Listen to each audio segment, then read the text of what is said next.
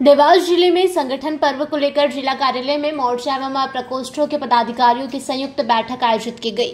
बैठक को संबोधित करते हुए राजीव खंडेलवाल ने कहा कि पार्टी का संगठन पर्व हमारे लिए सबसे बड़ा त्योहार है।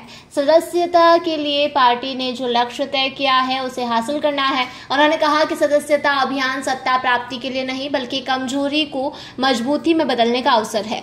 संगठन पर्व के लिए हर मोर्चा और प्रकोष्ठ अपनी योजनाएँ बनाए तथा अपने लक्ष्य तय करें। वहीं हमने चुनावों में नया इतिहास रचा है। सदस्यता अभियान नई सदस्यता के मामले में भी नया इतिहास रचने का अवसर है कि हर बूथ पर 200 से ज़्यादा सदस्यों को सदस्यता दिलाने के लिए हर पार्टी पदाधिकारी और कार्यकर्ताओं को जुटना होगा। खंडेलवाल खंडेलवाल द्वारा कहा गया है कि हमें हर बूथ पर 200 नए सदस्य जोड़ना है और इस काम में हर मोर्चे की भूमिका होनी चाहिए। इसके लिए हर मोर्चा और प्रकोष्ठ एडवांस प्लानिंग करे और ठीक तरीके से योजनाएँ बनाएँ। राजेश यादव ने कहा कि संगठन पर्व हमारे लिए सबसे बड़ा त्योहार है। हम मिलकर पार्टी के संगठन पर्व के अभियान को सार्थक करेंगे।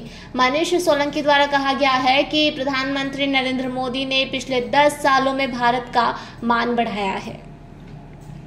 भारतीय जनता पार्टी के 2024 के संगठन पर्व प्रारंभ हो गया है।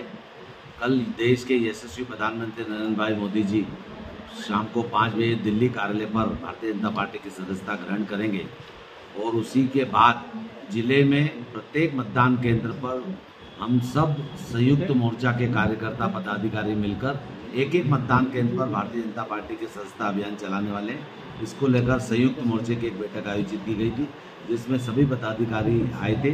सबों सब लोगों ने आज संकल्प लिया है कि शत प्रतिशत कार्यकर्ताओं को भारतीय जनता पार्टी की संस्था दिलाकर इस महासंगठन पर्व में देवास जिला भी अग्रणी भूमिका निभाएगा। देवास से ब्यूरो अभिषेक सोनी की रिपोर्ट।